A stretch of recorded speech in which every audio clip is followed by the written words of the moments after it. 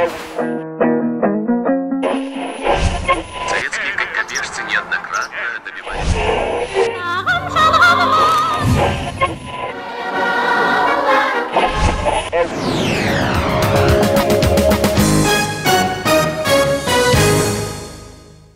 бүгін бізде қонақта қазақстан республикасының еңбегі сіңген мәдениет қайраткері құрмет орденінің иегері ә, кино және театр актері болат әбділманов ассалаумағалейкум аға.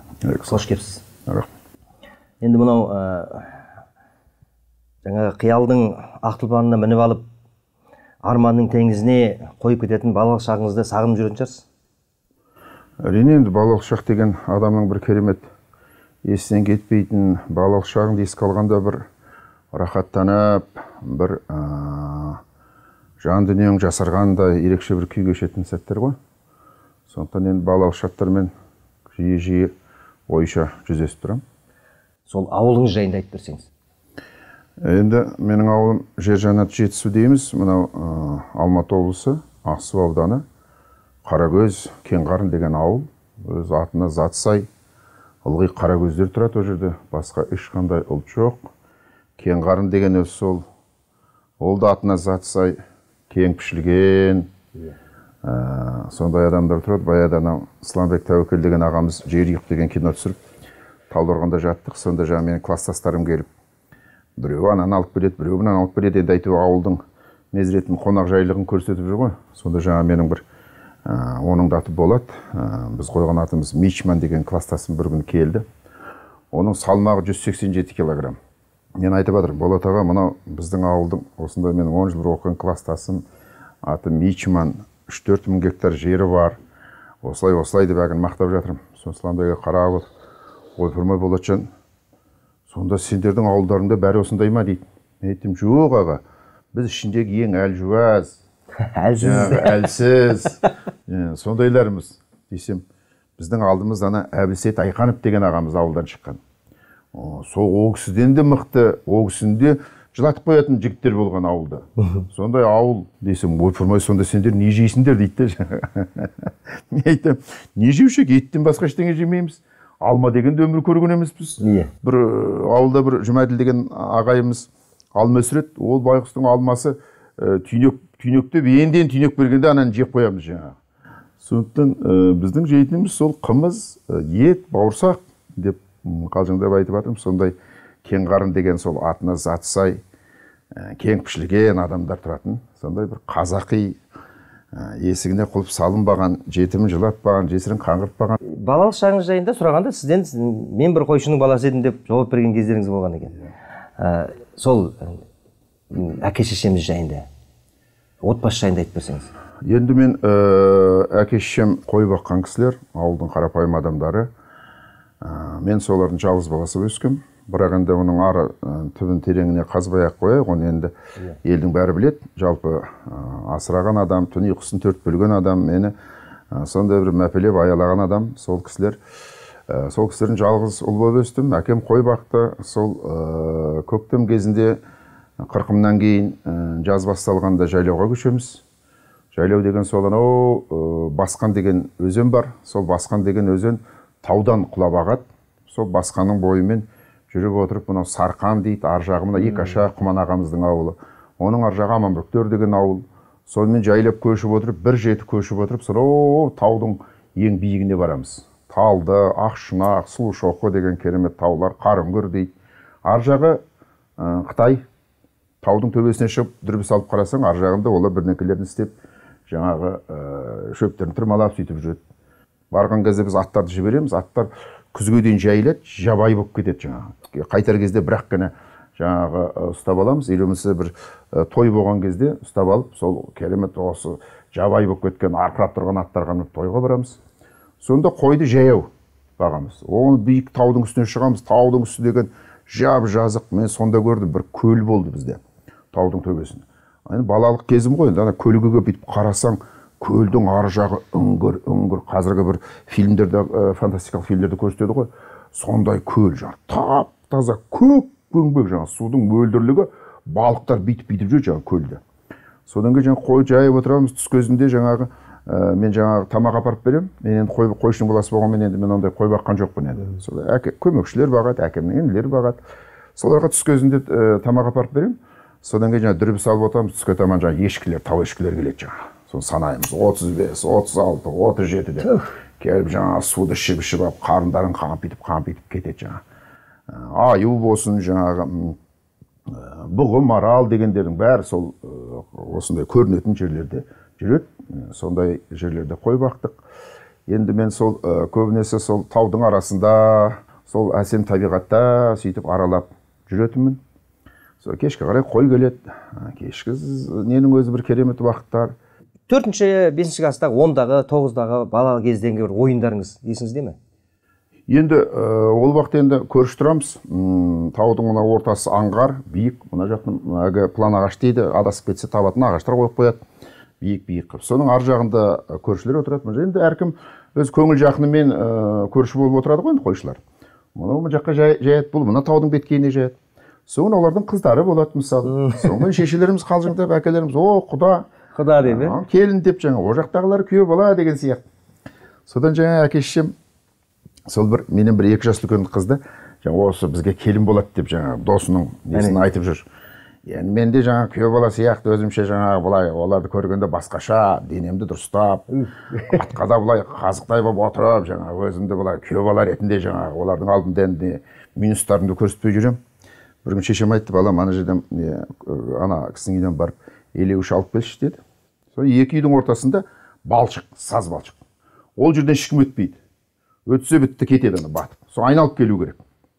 Сол айналып бір тортөбел атым бар еді.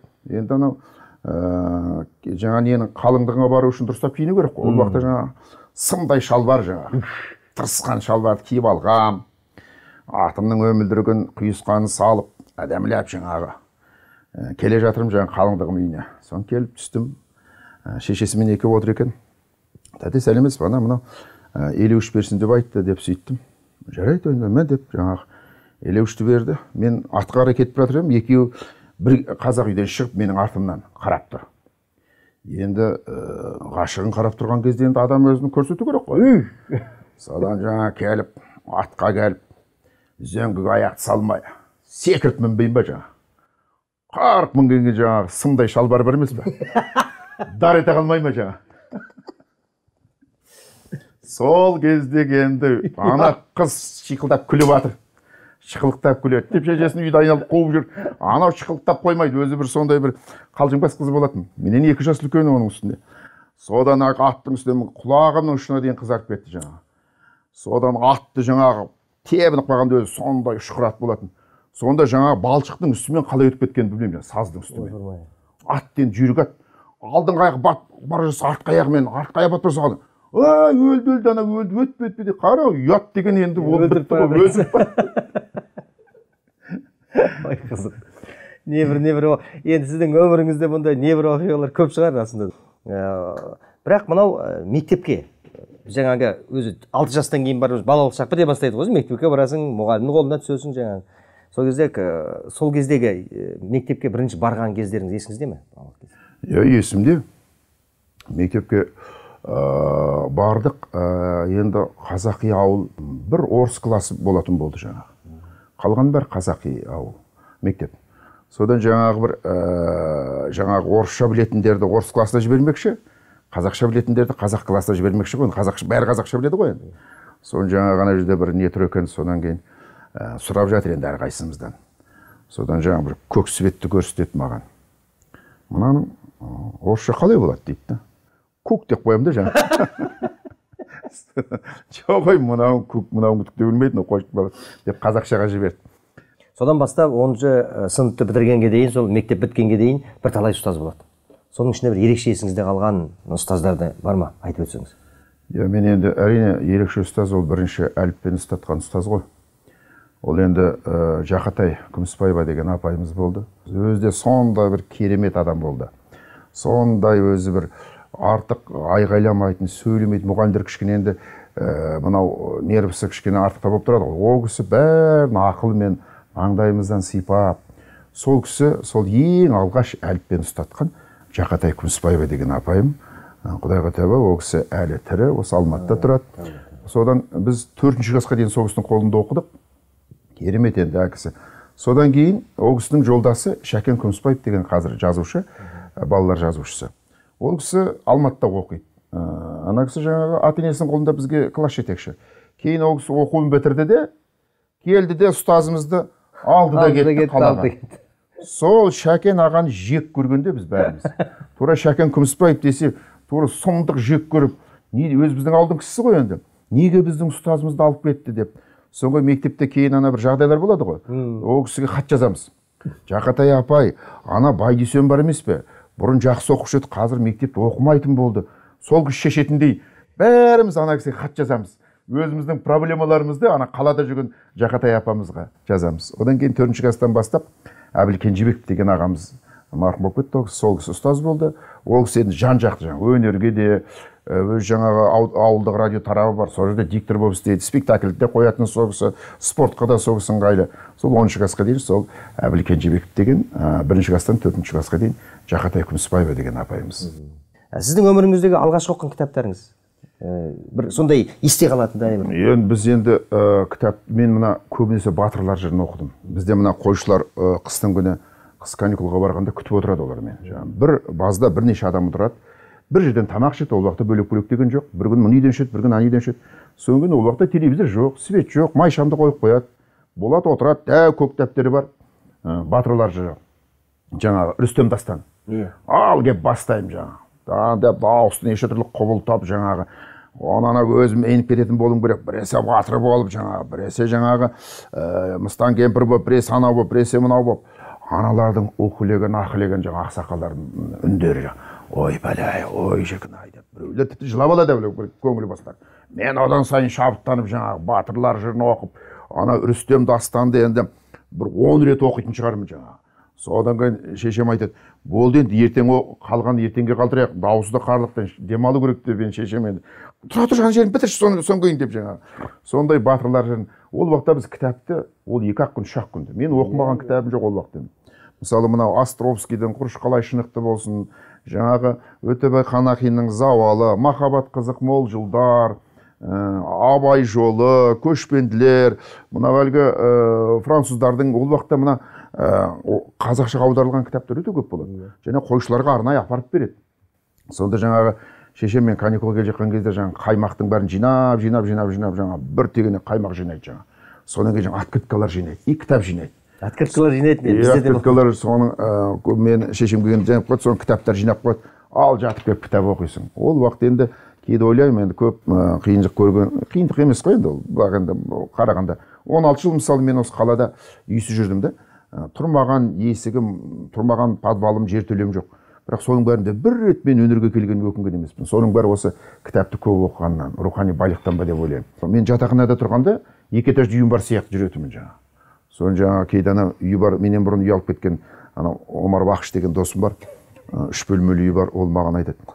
Е қал қалай десем қабағы түсіп кеткен ой светті төлеу керек ананы төлеу керек мен айттым ей онда сен үйіңді маған айырбаста менікі орталықта сен бірінші алматыда тұрасың солнечная сторона свет ненің бәрін ана үкімет төлейді бір бөлмелі жатақхана ғой енді сенің бөлмеңе мен ақ барайын жаңағы сонда мен аналар ешкім ойламайды менің үйсіз күйсіз жүргенімді бәрі ойлайды екі этажды үйі бар өйткені мен солай жаңағы өзім солай қоямын жаңағы киісімде жаңағы өзім поступкаларымда жаңағы бір деңгейге әлгі анау мынау деген әңгімені айтпай былай әжем айтатын. Еш уақытта өзіңнің әлсіздігіңді біреуге бір жағдайыңды айтпа.